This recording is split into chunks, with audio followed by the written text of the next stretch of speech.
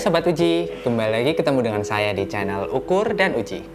Nah, di video kali ini di samping saya sudah ada alat moisture analyzer dengan metode infrared.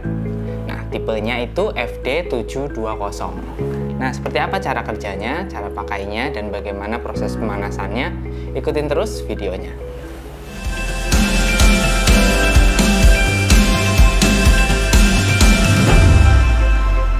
Nah, pertama kita bisa menyalakan alatnya terlebih dahulu setelah dihubungkan dengan sumber daya e, 220 volt. Di sini tombol powernya ada di bagian belakang. Oke, kemudian akan ada waktu e, countdown atau hitung mundur dari 5, 4, 3, 2, 1. Kita tunggu saja.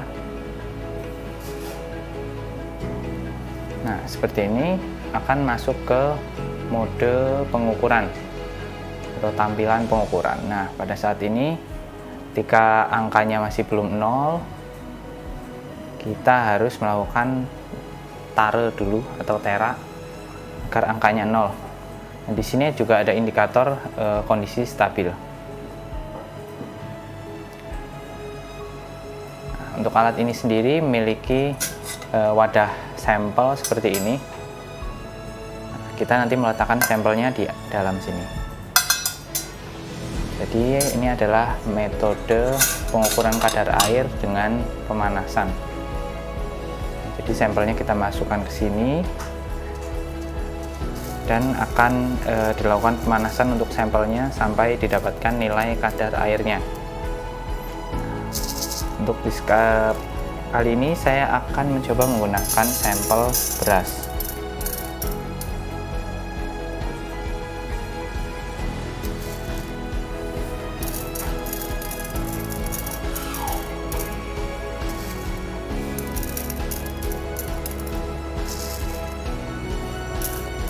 Nah, untuk sampelnya ini sendiri harus merata, tidak boleh saling tumpuk.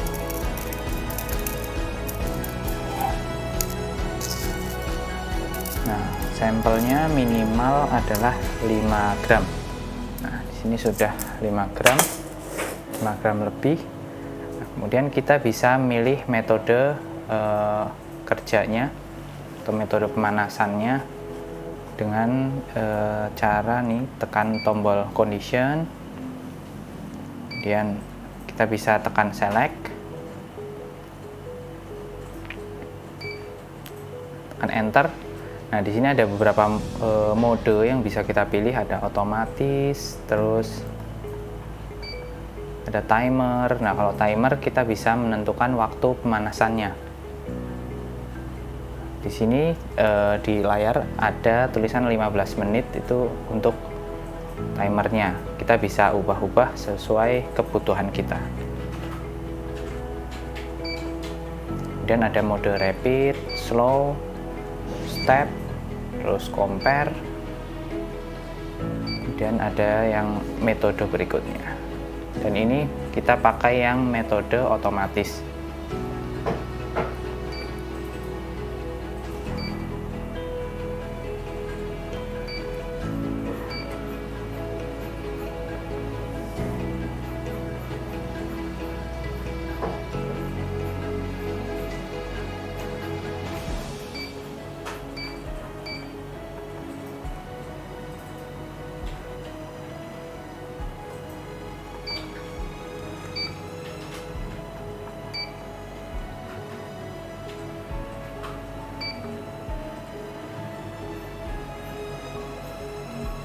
Oke, setelah sudah kita bisa memulai proses pemanasan. Terlebih dahulu kita tutup uh, dulu wadahnya, dan tekan tombol start yang ada di sini.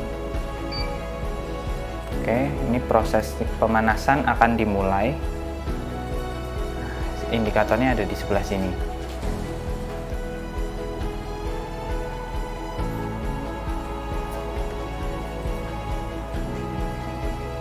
Oke, ini di sini pemanasan otomatisnya ada di menggunakan suhu 120 derajat Celcius.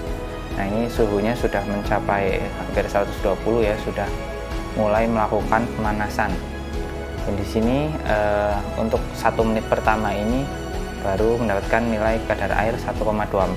Kita tunggu sampai prosesnya selesai.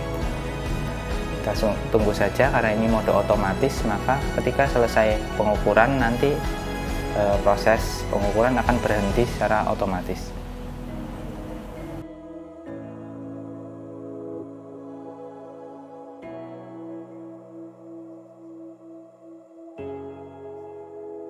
Nah ini prosesnya sudah selesai. Di sini sudah uh, ada simbol di sini. Simbol ini artinya berarti proses pemanasan sudah selesai dan kita mendapatkan hasil kadar air dari sampel kita. Di sini dapatkan 12,3 persen untuk kadar air dari beras ini. Nah, kemudian secara otomatis suhu akan turun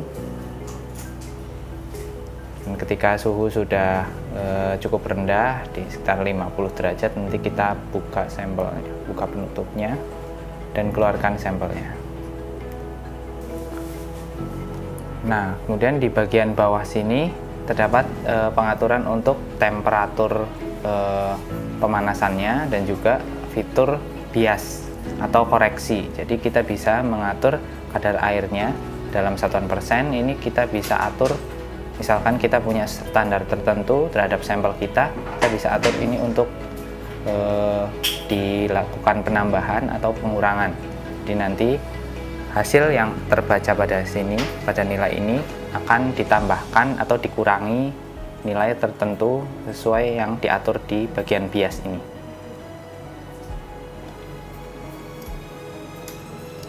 Nah itu tadi gambaran mengenai cara pakai dari alat FD720. Untuk informasi selengkapnya mengenai alat ini atau alat-alat ukur lainnya bisa menghubungi kontak berikut ini.